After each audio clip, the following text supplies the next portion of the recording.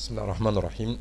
بعد ما جبنا ال reaction ات من على الثري موديل نتيجة أحمال الرياح نبدأ بقى نشوف ال- الأحمال دي هنتعامل معاها إزاي. ده عندنا ال F 3 وال reaction في اتجاه Z وده M واحد هو ال moment حوالين ال X X. طبعا F 2 و F 3 دي هتعمل لنا shear.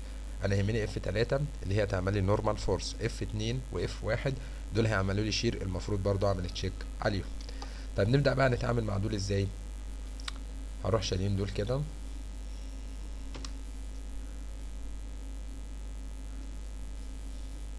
وأعمل هنا insert insert.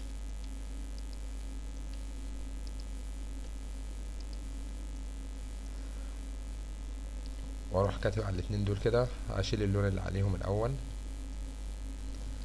ماشي؟ وأعلم على الاتنين دول كده وأعمل click يمين format cell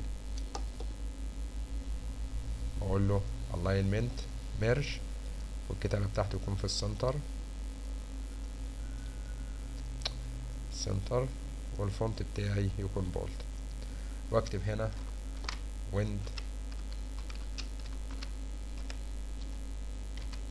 wind forces. سواء كان F 3 اللي هو ال reaction أو سواء كان M واحد. هنا بقى هكتب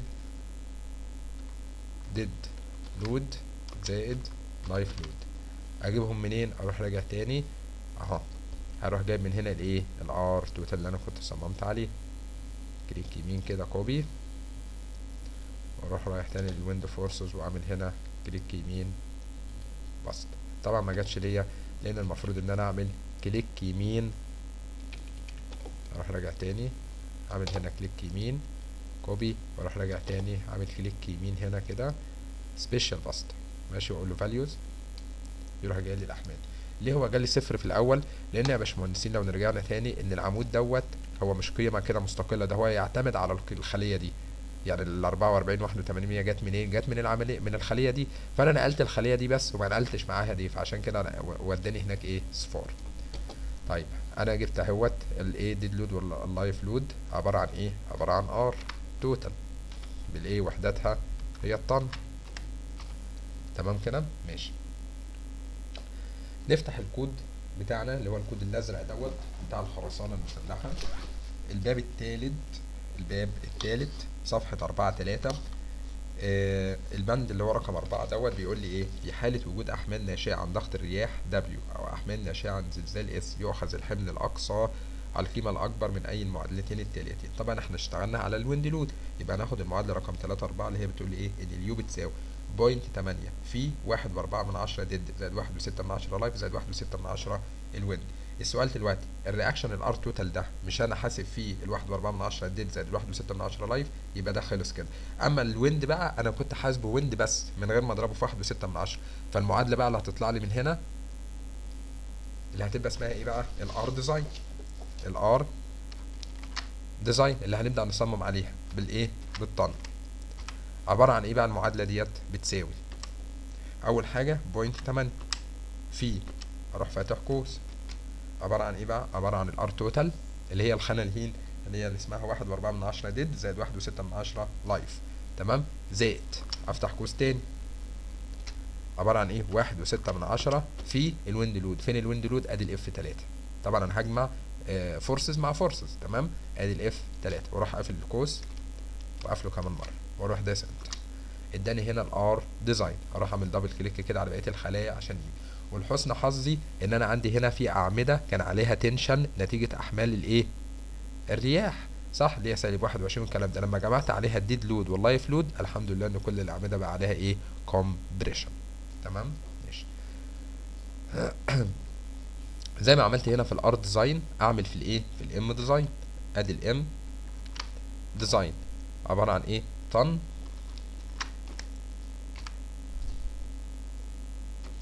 متر بتساوي إيه بقى دي؟ بتساوي ال M اللي طالعة لي من هنا أضربها في مين؟ في واحد وستة من عشرة في point تمانية. point تمانية ليه؟ هو زي ما الكود قال لي point 8 وهو الكود قال لنا ليه point 8 لأن المفروض إن أحمال الرياح أو أحمال الزلازل عبارة عن إيه؟ secondary stress يعني أحمال ثانويه فأنا بزود ال allowable stress بمقدار 20% معناها إن أنا لو ضربت الأحمال في point 8 كأني زودت ال allowable stress بمقدار 20% طيب ليه ضربت في واحد وستة من عشرة؟ قلت تاني علشان الأحمال بتاعه الرياح أنا دخلتها زي ما طلعت لي من البرنامج.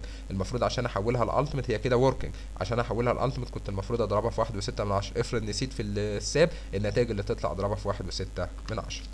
واللي أنا عملته هنا عمله مع بقية الخلايا تمام؟ أروح راجع تاني للبرنامج دوت.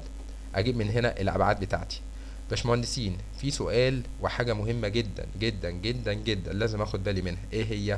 إن أنا هنا الترقيم اللي أنا اللي هو موجود في في الثري موديل اللي أنا جبت منه ال reaction بتاع أحمال الرياح هو نفس الترقيم اللي موجود هنا اللي أنا صممت عليه الاعمده وده كله جه منين؟ إن أنا كنت عملت في الأول ال origin زي ما اتفقنا كده ملف SAP اسمه origin خدت منه عملت ال dead load وال live load وخدت منه عملت ال raft وخدت منه عملت الثري موديل.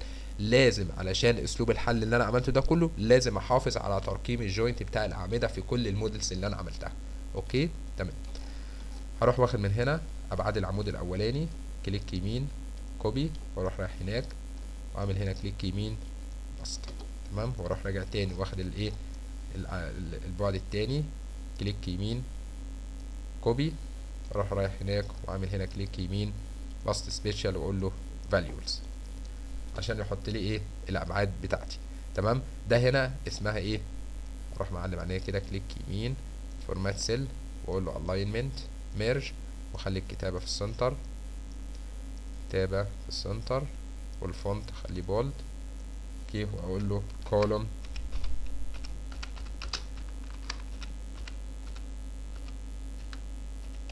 dimension. ماشي؟ ده عبارة عن ال B وده عبارة عن ال T ده كده بالسنتي وده كده بالايه بالسنتي ماشي؟ يبقى أنا كده آه بقى عندي إيه؟ عندي الأحمال بتاعه ال R design اللي هو normal force وعندي ال M design وعندي قطاع موجود بالفعل. عندي قطاع موجود بالفعل. ليه؟ لأن أنا صممته كتصميم مبدئي نتيجة أحمال الإيه؟ ال dead load وال live load يبقى المفروض إن أنا دلوقتي استخدم ال interaction diagram إزاي؟ عندي N و M وعندي قطاع موجود أبدأ أدخل بيه ال interaction diagram علشان أطلع حديد التسليح اللي هو عايزه. أشوف حديد التسليح ده أكبر ولا أصغر من الحديد اللي أنا كنت جايبه هنا. والله لو طلع أكبر يبقى أستخدم الحديد الجديد اللي أنا مطلعه من ال interaction diagram. ولو طلع أصغر يبقى أنا أستخدم الحديد اللي أنا كنت مطلعه من إيه؟ من ال dead load وال live load. وبكده أكون أنا خلصت التصميم النهائي للأعمدة بتاعي. أبدأ بقى إيه؟ آه، أظبط ال- الجدول بتاعي دوت. أروح اعمل click كده match properties تمام؟ آه واظبط كده.